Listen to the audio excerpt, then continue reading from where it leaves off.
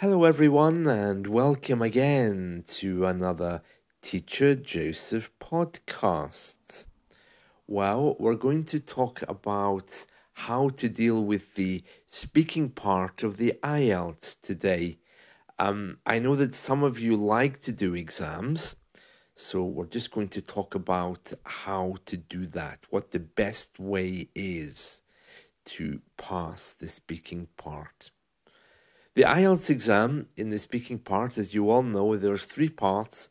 The first asks you very general questions which require fairly short answers, but there's still room to get comparatives in there. So if they say, How did you get here today? you could say, Well, compared to yesterday, the weather's nicer today, so I came by foot.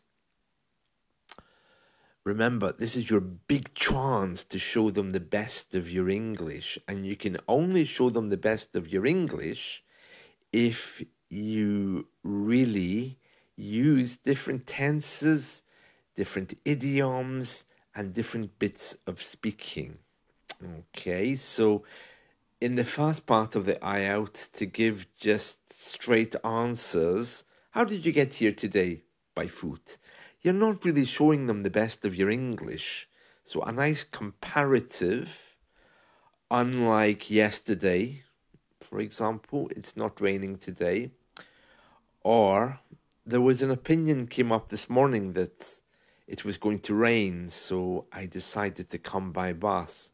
You see, any of these little things that you can use uh, is much better than just giving a direct yes or no answer.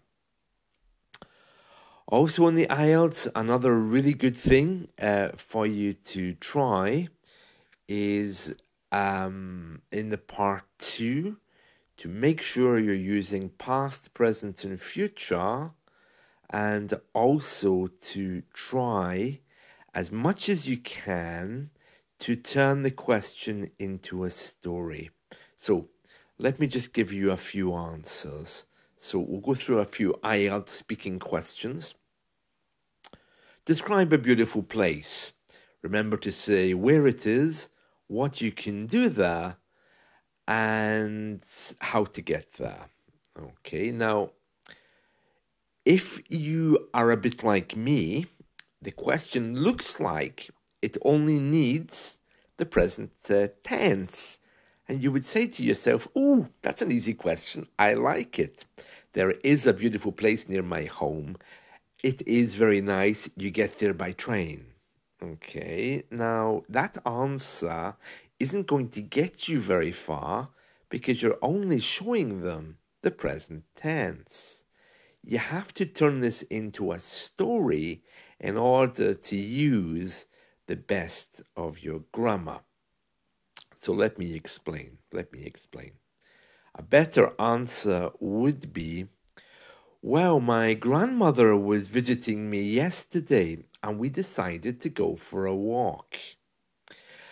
We discovered a really beautiful place which is quite close to where I live. Compared to other places, it was very colourful and green. My grandfather said he didn't like it very much, but my grandmother loved it.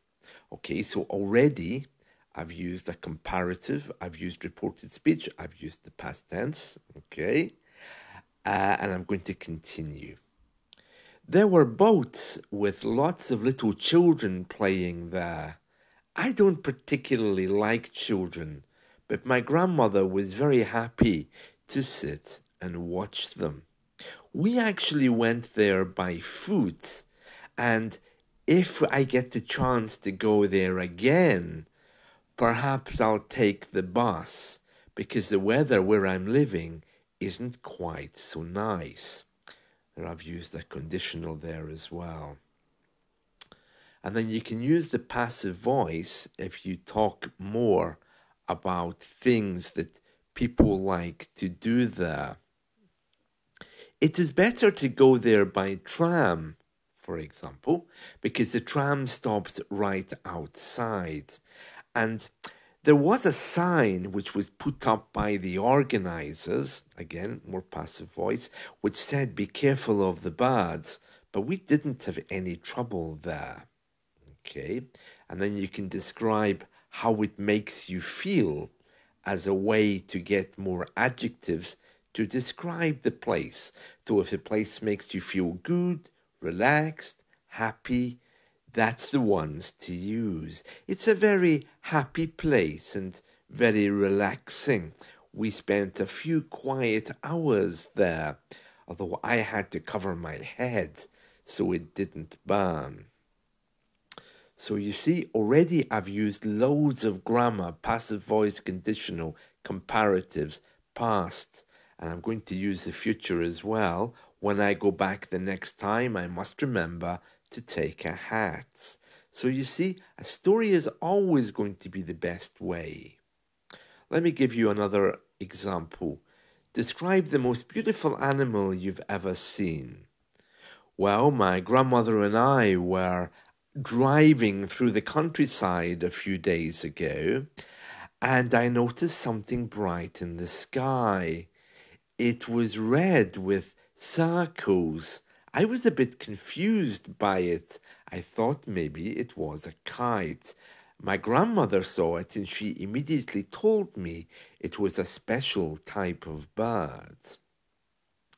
Compared to other birds that I've seen in the sky, this one looked very, very different.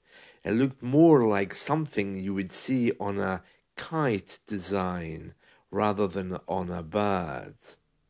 It was flying very, very low, but my grandmother assured me that they always do this and that there was nothing to be afraid of.